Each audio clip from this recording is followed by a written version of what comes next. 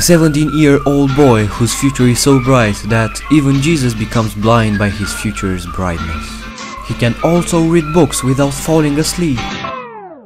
His parents love him so much that they bite him every time he approaches. He has the soul of an artist.